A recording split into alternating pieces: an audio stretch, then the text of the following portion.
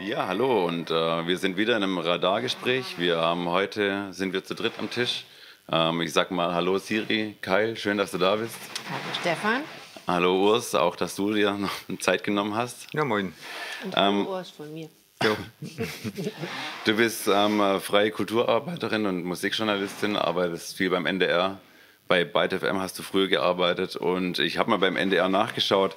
Ähm, das ist einer der Gründe, warum wir auch auf dich zugekommen sind, äh, dich einzuladen, dass du dich ähm, über die Frage interessierst, was Pop und Gesellschaft miteinander zu tun haben und wo auch da die Wechselwirkungen passieren, welche Zusammenhänge sich erkennen lassen von Soundtracks, von äh, Musik, die heute stattfindet und von dem, wie sich gesellschaftliche Entwicklung eigentlich dann auch damit ergibt. So. Ähm, du bist sonst hier in Hamburg am Reeperbahn Festival äh, mitbeteiligt? Viel? Oder? Äh, am Reeperbahn-Festival selbst nicht, sondern auch über den NDR ähm, beteiligt an einem Format, das nennt sich NDR Blue Backstage. Ähm, und das ist eine, eine Live-Show, die läuft, naja, sie hat es jetzt fünf Jahre auf dem Reeperbahn-Festival gegeben. Und deren Konzept war immer ähm, abzubilden, wer spielt auf dem Reeperbahn-Festival, was gibt es für aktuelle Entwicklungen, welche Gäste sind dort, was sagen die Veranstalterinnen zu aktuellen Themen, die in dem Jahr, was weiß ich, die in dem Jahr aktuell und virulent waren, dass die von den Gastländern bis zu aktuellen Diskursen wie Key Change, also sprich 50-50 ja. ähm, Beteiligung von ähm, männlichen und weiblichen Künstlerinnen und Künstlern, Gremienbetreuung und so weiter. Ähm, also all solche Themen wurden in dieser Sendung verhandelt mit Gästen ähm, aus äh, den ganzen Reigen der ähm, Festivalveranstalterinnen und ähm, der Businessleute, aber es waren Autoren da und die Idee ist gewesen, eine Stunde lang hatten wir Zeit, haben das live gesendet und haben da sowohl Gespräche geführt, ähm, als auch Live-Musik gehabt. Und das Schöne war, was das Besondere war, was wir beim NDR und sonst als Radio ähm, Leute überhaupt nicht haben, dass wir Publikum hatten. Ja. Und ähm, in dem Kontext halt eine Stunde lang sehr, sehr nah die Situation herstellen konnten, dass Künstlerinnen und Künstler in der alten Liebe auf der Reeperbahn hat das immer stattgefunden, bis aufs erste Jahr, da war das in der Prinzenbar, sehr nah bei Künstlerinnen und Künstlern waren, die uns besucht haben, alle ein, zwei Songs gespielt haben und ähm, interviewt wurden und dann wieder gegangen sind. Und es war immer eine sehr, sehr schöner, eine schöne Möglichkeit aufzufangen, was, wie das Festival funktioniert, wie es läuft. Mhm. Dieses Jahr geht es natürlich alles nicht. Ja. Deshalb haben wir ein anderes Format. Ähm, das wird eher so aussehen, weil wir keine Gäste haben können, ähm, wird es eher so aussehen, dass wir eine Art das Festival, äh, Reeperbahn Festival, hat sich ja vorgenommen, dieses Jahr ähm, ein bisschen Experimentierfeld zu sein für die Frage, wie fühlt sich eigentlich Live-Musik unter äh, Pandemiebedingungen an? Also sprich, was macht es mit ähm, allen Beteiligten, von den Bands, Musikerinnen und Musikern bis zu den Mitarbeitenden in den Clubs, bis zum Publikum? Was machen diese Hygienebedingungen mit einem? Ja. Was macht es mit mir, wenn ich mich an einem Punkt befinden muss, eigentlich nicht richtig tanzen darf als Frau im Publikum und wenn ich zum Tresen will, muss ich eine Maske aufsetzen oder auf die Toilette und so. Ja. Also was macht es mit mir als Musikerin, wenn ich eigentlich Punkrock spiele, aber nicht so atmen darf, so intensiv, wie ich es gewohnt bin beim ja. Punk? ähm, und äh, wie gehe ich damit um? Verändert sich dadurch meine Musik? Verändert sich dadurch meine Bewegung auf der Bühne? Verändert sich Interaktion? Das sind eigentlich alles ziemlich interessante Fragen und ähm, gleichzeitig gibt es aber vielleicht auch ähm, Antworten, mit denen man dann äh, in der Zukunft gucken kann, was funktioniert, was funktioniert nicht und wie gesagt, das hat sich das Reeperbahn-Festival, das hat sich die Hamburger Politik auch ein bisschen ähm, vorgenommen, äh, dafür den Rahmen zu liefern. Und ähm, dieses, dieses Format, äh, NDR Blue Backstage, versucht jetzt in zwei Stunden an drei Tagen jeweils ähm, genau diese ganzen Fragen zu beleuchten die Leute, mit denen, die dort unterwegs sind und auch da wieder von Musikerinnen, Musikern, Veranstaltern, Journalistinnen, Kollegen, ähm, Konferenzteilnehmern bis zum Publikum äh, zu fragen, okay, wie fühlt es sich an? Was macht es mit einem? Was ist davon für die Zukunft ja. äh, weiterzuentwickeln und was nicht. Also so ein bisschen so ein Versuch, das Auge und Ohr dieses Festivals ja. zu sein. Das müssen wir oder wollen wir gerne in diesem Jahr versuchen, weil wir eben halt nicht unsere geliebte Publikumssituation ja. haben können. Ja, das ist ja schon auch das Stichwort so. Wir haben ja auch keine Publikumsmöglichkeiten mehr, produzieren seit äh, ein paar Monaten oder mehreren Wochen jetzt diese Plattenfroster Television, wo auch diese, dieses Gespräch dann äh, ausgestrahlt werden wird. Und ähm, im Endeffekt sind uns auch jetzt die Hände gebunden. Also man kann äh, keine Tanzlustbarkeiten, wie das ja so schön heißt, irgendwie also ähm, gesellige Veranstaltungen mit einem, mit einem äh, Bar- und Tresenverkauf, der mhm. finanziert, was eine Spielstätte tut oder so. Ähm, Blo, da bist du ja schon äh, lange hier drin. Du machst seit 28 Jahren hier dieses Kulturschiff mit, eigentlich hauptverantwortlich, schon immer äh, tief drin so. Ähm, wie siehst du die Lage? Wie geht das weiter am Reeperbahn-Festival? Wird ein Gehversuch gemacht, wie das gehen kann erstmal? Wie sieht das für geschlossene Spielstätten aus mit begrenzten Räumlichkeiten? Ähm, ja gut, äh,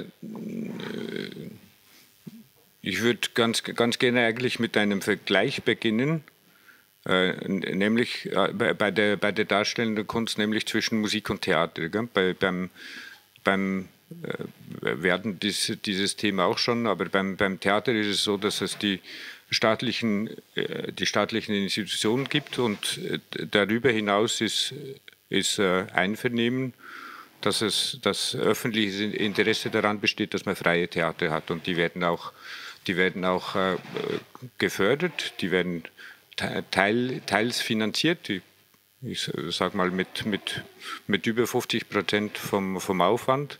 Und diese, die, diese, äh, so, so war das eigentlich schon, schon lange in Deutschland, dass man eigentlich diesen Konsens hatte, so funktioniert das. In der, in der Musik ist es, äh, ist es deutlich anders. Man hat, die, man hat auch die großen staatlichen Institutionen und man hat dann die, die freie Szene, die eigentlich die, die, äh, die, diese äh, im, im Musikschaffen, das, das Musikschaffen äh, finanziert über, über, die, über, die, über die Clubs, über die Clubs, über die Spielstätten.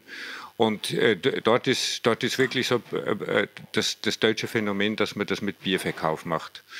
Äh, und das hat ja, das hat ja wirklich äh, immer äh, einschneidende Bedingungen gehabt, äh, schon, schon lange Zeit, aber es hat auch irgendwo hat es auch funktioniert. Also wenn ich die, die, die letzten zwei, drei Jahrzehnte angucke, war, war, gab es so ganz einfache, ganz einfache äh, äh,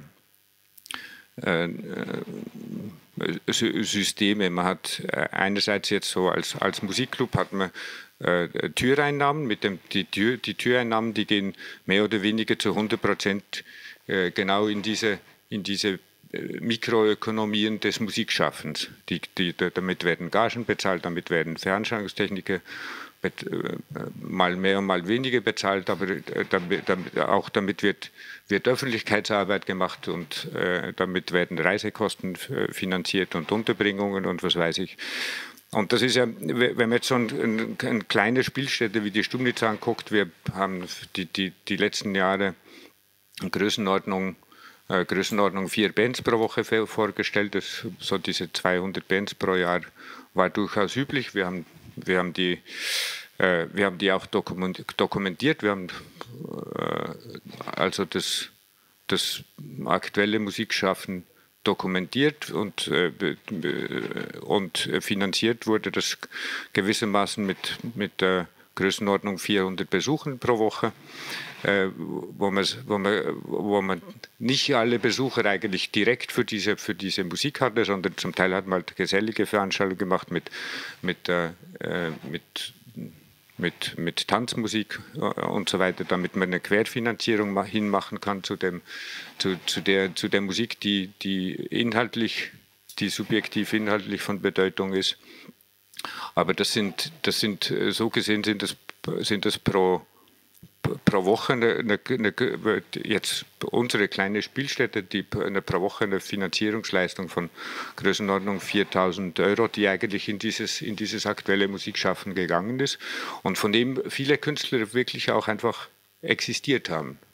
Also viele der, der, der Musiker, die, die, die äh, also nach den 5.000, 6.000 Konzerten oder so, die ich, die ich gesehen habe, viele der Musiker, die für mich eine Bedeutung haben, die existieren eigentlich genau von, äh, von dieser Situation.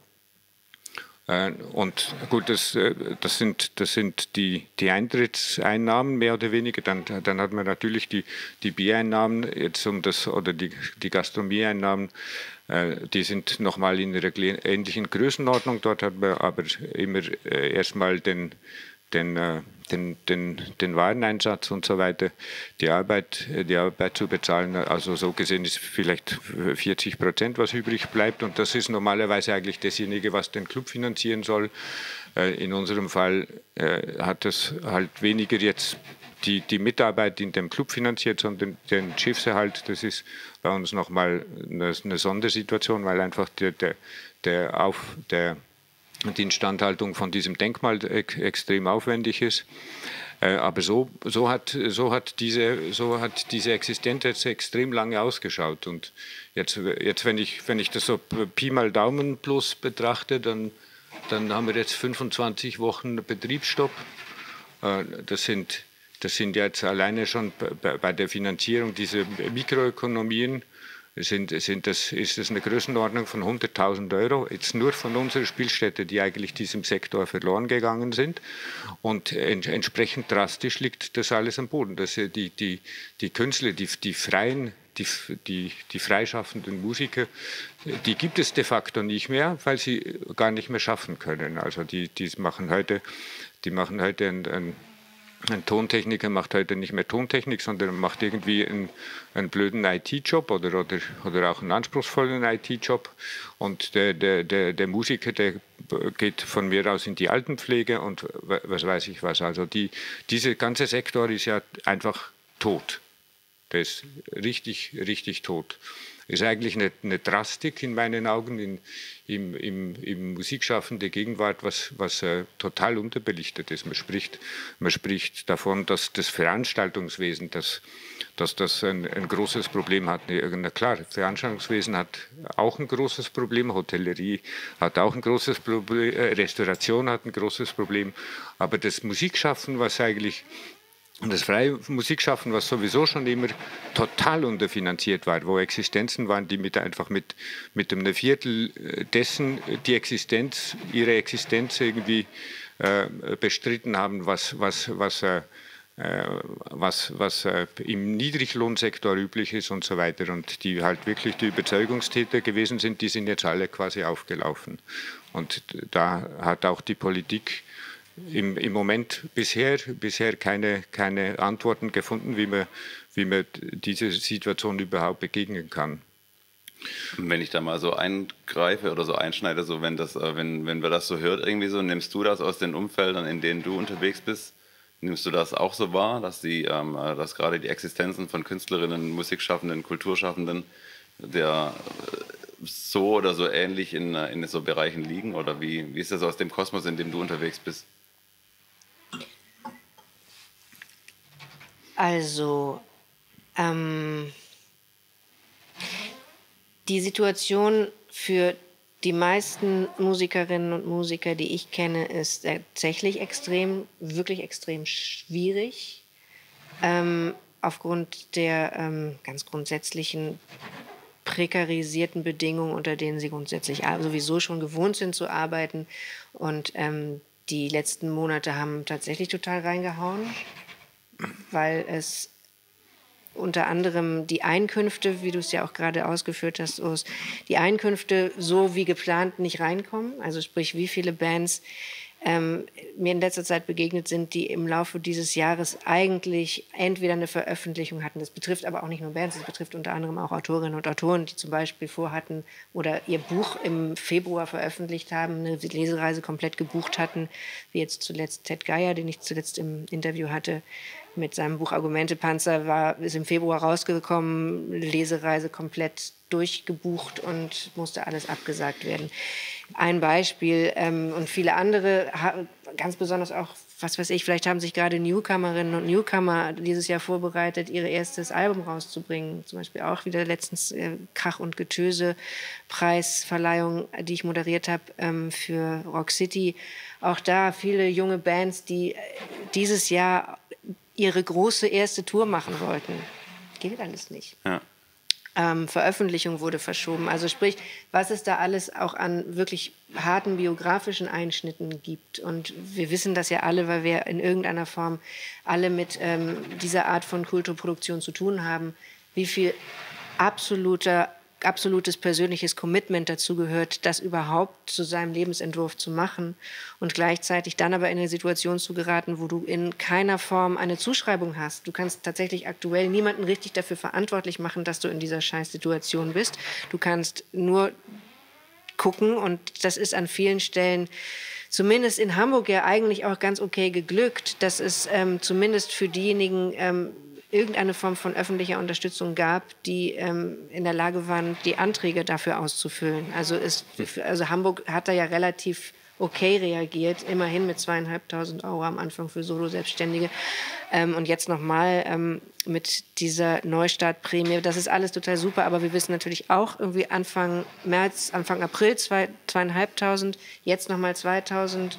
Das reicht natürlich nicht, um deine Einnahmeausfälle zu kompensieren. Und die Antwort darauf, auch ganz grundsätzlich rein von der Politik her, ist natürlich in der Regel zu sagen, na gut, dafür gibt es dann halt jetzt diesen leicht erleichterten Zugang zur Grundsicherung. Auch das ist was, wo wir wissen, dass die Kulturschaffenden, die es betrifft, als Solo-Selbstständige arbeiten und wirtschaften nicht so, dass sie mal eben in die Grundsicherung gehen können und dann wieder rausgehen können. Also all diese ganzen Schwierigkeiten, die damit verbunden sind, ähm, den eigenen Lebensentwurf, und das ist, glaube ich, auch ein Riesenproblem, über diese Zeit zu retten, ohne zu wissen, wie lange diese Zeit ja, dauert. Ja.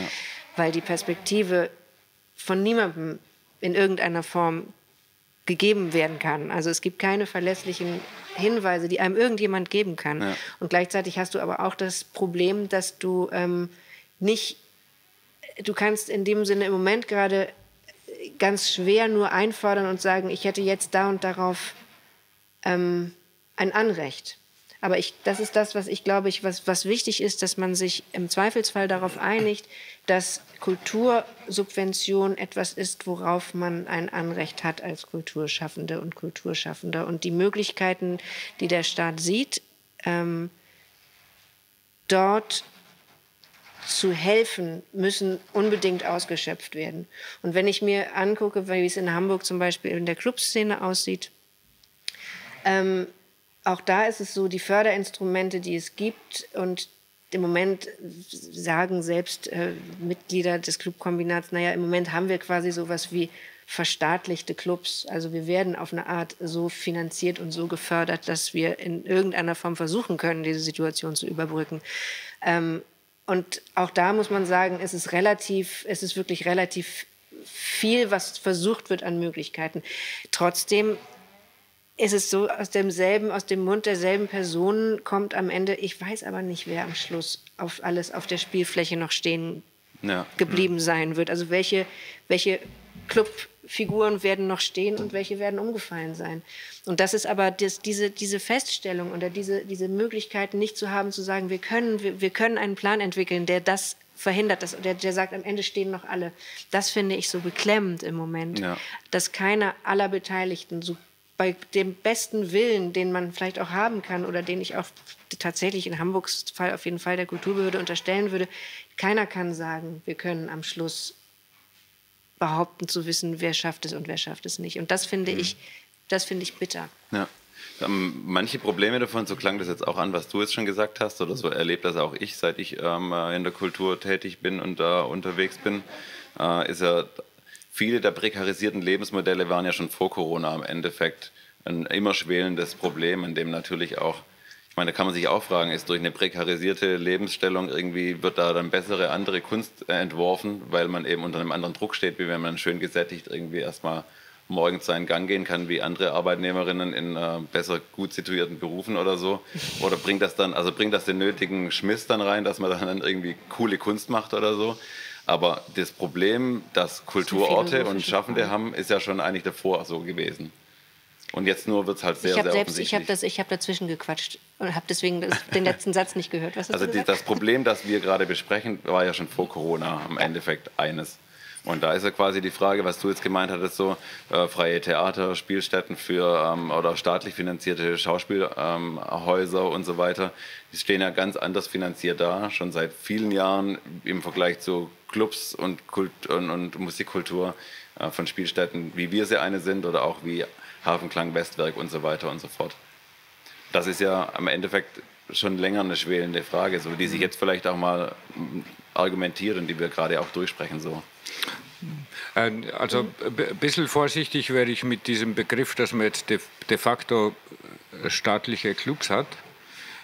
Weil äh, das, das, was er, das, was er im Moment, also ich, Hamburg hat sehr deutlich besser reagiert als, als viele andere Städte in Deutschland, das ist so ohne Zweifel, so, sowohl gegenüber den Selbstständigen wie auch gegenüber den Spielstätten.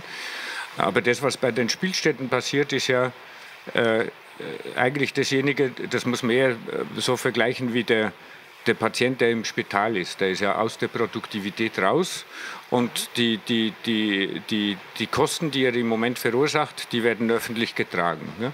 Aber die, die, diese, diese Leistung, die er, gegenüber der, äh, der, der, die er gegenüber dem Musikschaffen gemacht hat, wird er damit nicht aufrechterhalten. Mhm.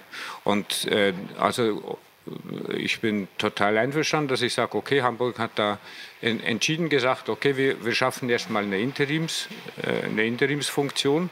Äh, die, diese, diese, diese Interimsfunktion ist zum, zum Teil inzwischen auch problematisch, weil, also wenn ich das bei uns gucke, am Anfang hat das alles relativ rasch funktioniert. Man hat unabwendbare Kosten äh, quasi geltend gemacht und hat, hat die auch relativ zeitnah äh, erstattet erhalten. Inzwischen ist es so, dass man Anträge stellt, zwei Monate wartet und dann kommt, dann kommt die, die, die erste Reaktion darauf, die sagt, ja, äh, Sie haben sich das jetzt so überlegt, dass man jetzt erstmal diesen Bedarf beim Bund anmelden muss, äh, beantragen muss. Und wenn der Bund dann entschieden hat, was er davon übernimmt, dann würde das Land die andere Hälfte übernehmen.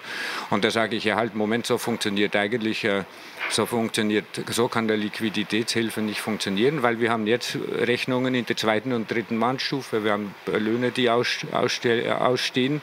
Und äh, rechtlich gesehen jetzt ohne diesen Aufschub, den man, den man sagt, im Insolvenzrecht müssen wir jetzt schon sagen, wir, äh, wir, wir können die, die Verantwortung eigentlich für die Entwicklung nicht mehr übernehmen. Also mal um das so ein bisschen äh, zu relativieren mit der Verstaatlichung der Clubs. Das ist aber, das ist mir schon klar, dass das eine zugespitzte Formulierung ist, ähm, weil natürlich dazu auch gehört, dass der rechtliche Rahmen ein Staatstheater hat, einen Rechtsrahmen, der, für, der ganz klar für die Institution mhm. feststellt, mhm. wer verantwortlich ist. Das bezieht sich im Zweifelsfall aber auch auf sämtliche Betriebsvorgänge. Ähm, also sprich, ein Staatstheater ist in einer völlig anderen Situation als die Clubs, die jetzt nun mal finanzielle Unterstützung mhm. von Seiten, der, mhm. in diesem Fall der Stadt Hamburg kriegen. Von daher ist es eine zugespitzte, etwas polemische Formulierung zu sagen, es sind äh, verstaatlichte Clubs. Aber nichtsdestotrotz ähm, empfinde ich das im Moment gerade als eine Situation, die ich deswegen aber auch auf der Art phänomenal finde, wenn man es ein bisschen umdreht, nochmal zu sehen, ähm, weil du das eben auch gesagt hattest, nämlich was, was ist eigentlich die Aufgabe, die Clubs übernehmen in einer Kulturlandschaft. Und ähm, was dieser aktuelle, ähm, dieses, dieses aktuelle Wahrnehmen dessen, wenn man sich überlegt, was könnte am Ende von dieser Landschaft noch übrig bleiben und man hat ein Szenario, so wie ich es eben auch schon geäußert habe, dass sich das ganz schrecklich anfühlt, ähm, feststellen zu müssen, nicht zu wissen, was am Ende noch dann ist damit aber auch was verbunden, was natürlich vielen Leuten, die sich vielleicht sonst, wir machen das vielleicht rein von unserem eigenen Lebensalltag und unseren Berufsgewohnheiten her viel öfter, weil wir uns in diesen Szenen aufhalten. Wir sind unterwegs in den Hamburger Clubs oder in der Landschaft, kennen die ähm, dazugehörigen Menschen und die Akteure. Ähm, und sind vielleicht ein bisschen weiter drin als diejenigen, die es in Anführungsstrichen nur konsumieren, was nicht wertend gemeint ist, und vielleicht sogar noch ein bisschen weiter weg sind diejenigen, die im Zweifelsfall die Gelder dafür zur Verfügung stehen, weil die sich vielleicht nicht so häufig ähm, überhaupt in diesen Gefilden aufhalten, für die sie dort politisch verantwortlich sind, womit ich jetzt niemandem in der Kulturpolitik unterstellen will, dass er oder sie keine Ahnung von dem Clubleben hat. Aber nichtsdestotrotz, was man im Moment gerade merkt, ist, dass es fällt allen Beteiligten auf, was es eigentlich, worum es hier geht.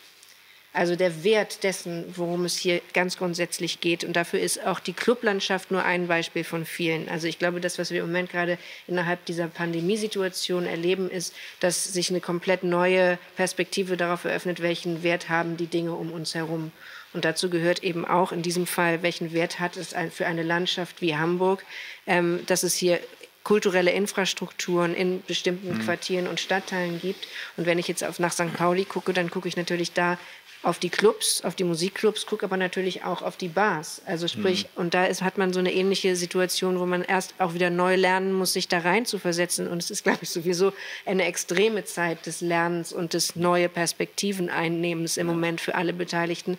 Auch da müsste die Politik, jetzt ist ja die Politik auch aufgerufen von dem, was sich mittlerweile gegründet hat und Barkombinat nennt, nämlich ähm, Barbetreiberinnen von, was ich mittlerweile über 100 Bars, in diesem näheren Umfeld äh, St. Pauli und ähm, noch weiter hinaus, die halt sagen, ey, naja, eigentlich sind wir, erstens sind wir auch Kulturräume, weil sich bei uns Kultur abspielt. Bei uns wird, äh, legen DJs auf, bei uns wird Kultur im Sinne von sozialer Kultur gepflegt.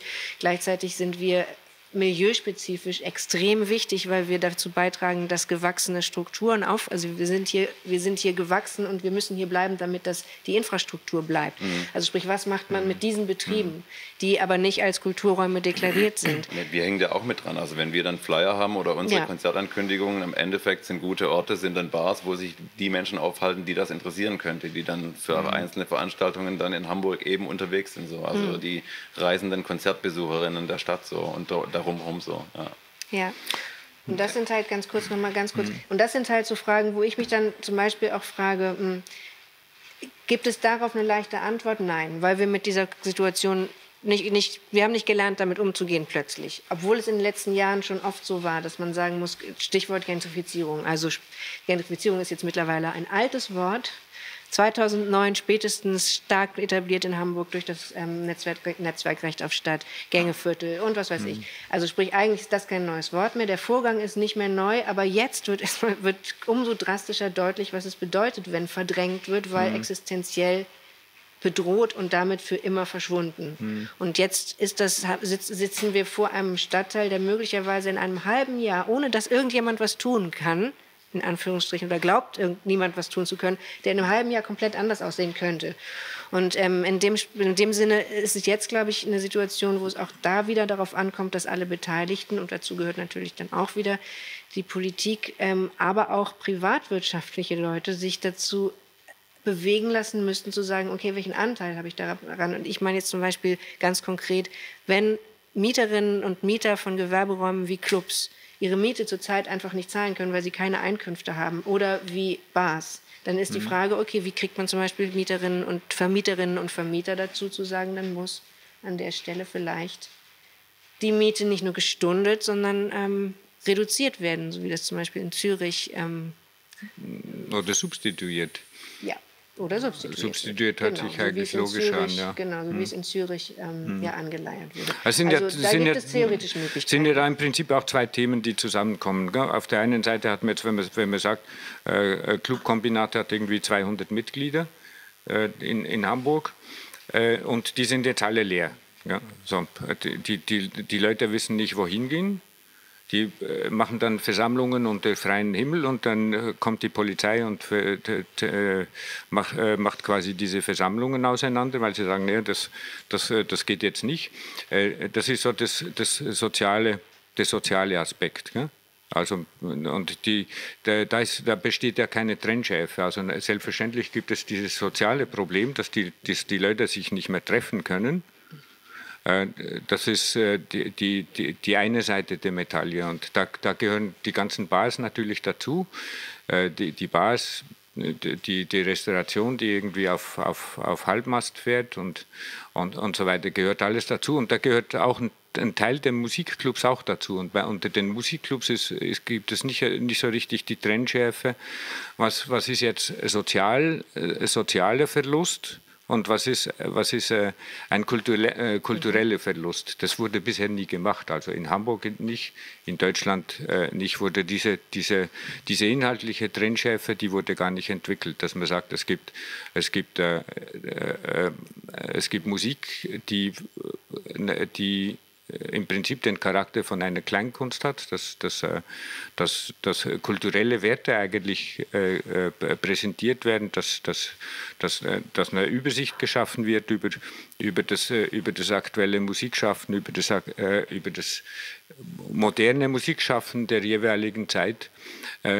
Das betrachte ich eigentlich nochmal als ein separiertes Problem. Und ich habe im Moment habe ich sehr stark die Befürchtung, dass das nicht ganz so richtig auf der politischen Agenda ist, dass man diese Trendschärfe dass man diese Trennung macht, dass man das wirklich auch als, als zwei Probleme betrachtet und sagt, ja gut, das, das, das Musikschaffen selber muss eigentlich äh, auch äh, unter neuen Bedingungen funktionieren. Also diese, diese, diese, Mikro, diese Mikroökonomien, die das Musikschaffen äh, finanziert haben, die müssen auch irgendwie substituiert werden.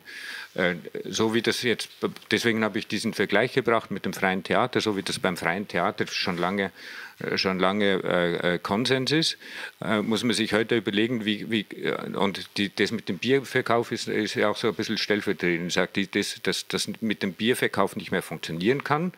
Bierverkauf ist ja so stellvertretend, weil man sagt, jeder, jeder mhm. Musikclub hat irgendwie seinen Biervertrag, wo er nicht rauskommt und er kann sich nicht leisten, aus dem, den Vertrag nicht zu erneuern und so weiter. Aber das beinhaltet ja auch, dass man, dass man, dass man gesellige Veranstaltungen macht, dass man kommerzielle Veranstaltungen deswegen macht, um dann die Inhalte wieder finanzieren zu können. Das, das ist so mein Beispiel, dass man sagt, okay, unsere Leute, die machen dann unter Umständen die, die, die die ganzen Überzeugungstäter in der Veranstaltung, Technik, in der Produktion, die machen dann unter Umständen, produzieren die am Wochenende eine Hochzeit, damit sie dann am Dienstag darauf wieder ein, ein interessantes Konzert produzieren können als, als, als Vorbedingung. Und, und beides davon ist, äh, beides davon ist nicht, äh, ist, ist äh, unter, unter dem Mindestlohn bezahlt. Ja? So, und äh, also, also dort ist irgendwo, dort ist irgendwie die Tragödie und die, die, die Modelle, die, die Modelle oder die Überlegungen, wie man, wie man Musik schaffen künftig weiterhin möglich machen kann und äh, auch die, die Bedeutung dessen, was, was, was, diese, was diese Komplex hat, ich glaube, da fehlt einiges an Bewusstsein. Gerade weil es halt jetzt extrem viele, extrem viele Betroffene überhaupt gibt, halt, aber, aber oftmals halt auch in der, in der sozialen Dimension, ohne dass das äh, äh, äh, äh von beiden Seiten betrachtet wird. Hm. Ähm, an dieser Stelle, wir haben äh, uns vorgenommen, dass wir diese Radarfolgen äh, so übersichtlich halten, dass da so 30, 35 Minuten sind, allein für die Zuhörerinnen, die da dabei sind. So. Ähm, wenn man jetzt, also deswegen so, wir würden jetzt gleich mal zum Ende kommen, so, aber im Raum steht für mich so die Frage so, also der kulturelle Wert von aktueller Musik, von Spielstätten, von Künstlerinnen, von all den Kulturschaffenden, auch wenn es in Bars und so weiter ist, also der kulturelle Wert, der dort gemeinsam getragen wird, ist, steht da zur Debatte oder ist, der, ähm, oder ist das für alle Beteiligten, auch aus der Politik, eh klar, dass das ein immaterieller Kulturwert ist, den wir irgendwie, wenn es irgendwie nur geht, erhalten wollen, ob jetzt Corona ist oder kein Corona ist. So. Ist das für dich zum Beispiel, wie, wie, wie, wie siehst du da die, die Lage an, die, an der, der Glaube an den, an den immateriellen Kulturwert dessen, was wir im Endeffekt alle irgendwo tun?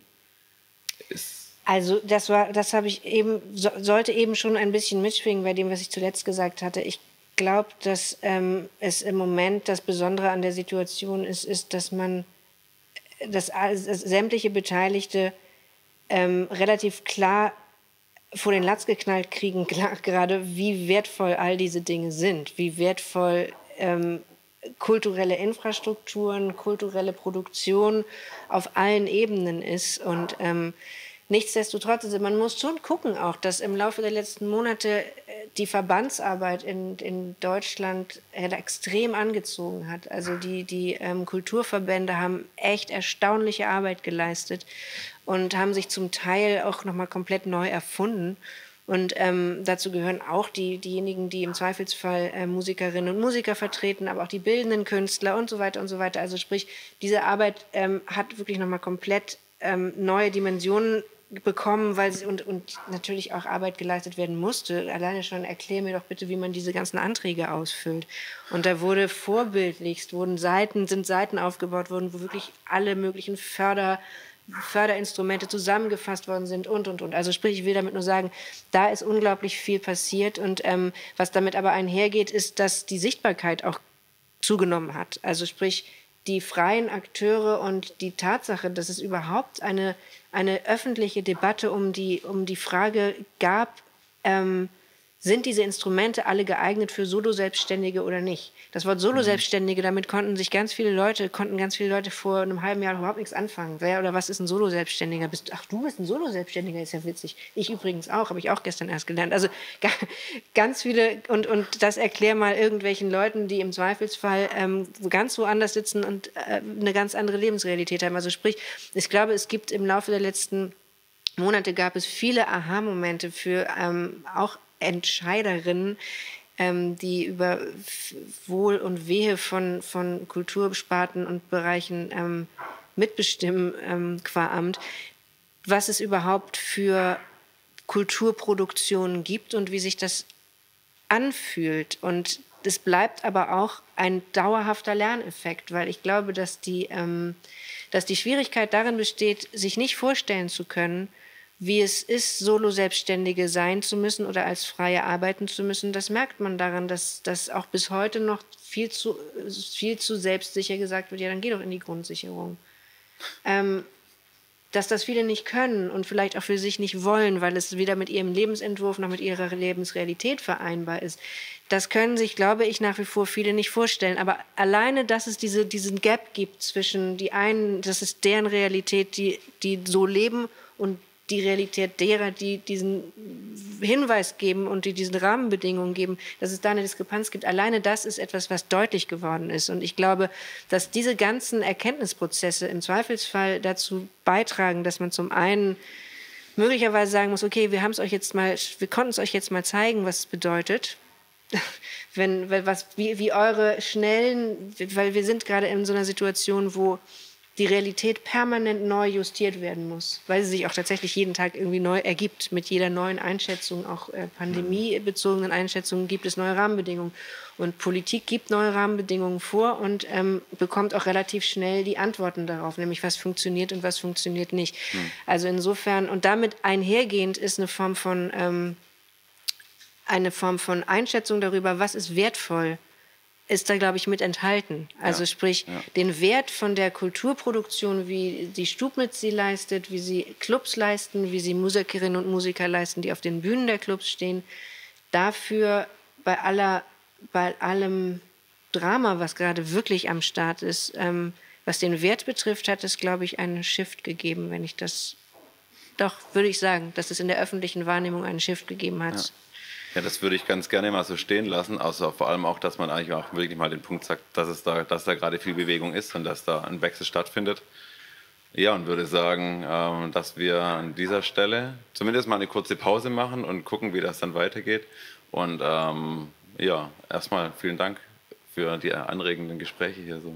Danke, danke für die Einladung.